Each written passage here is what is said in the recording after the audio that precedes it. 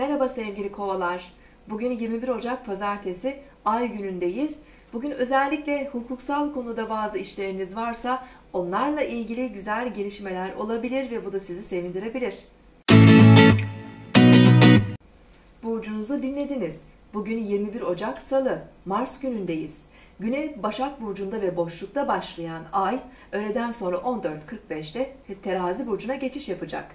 Sabah ve öğle saatlerinde günlük işlerimiz yavaş ilerleyebilir ve sonuç almakta zorlanabiliriz.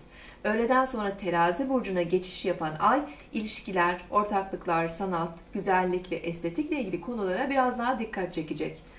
Bugün Kova burcundaki Güneş ve Terazi burcundaki Ay arasında öğleden sonraki saatlerde üçgen görünüm oluşuyor. Bu da ilişkilerde denge ve uyumu bulma konusunda e, bizi destekleyecektir. Politik ve adil bir bakış açısı sayesinde özel ve sosyal ilişkilerimizde daha verimli olabilir bazı sorunları çözebiliriz. Yarın tekrar görüşmek üzere. Hoşçakalın.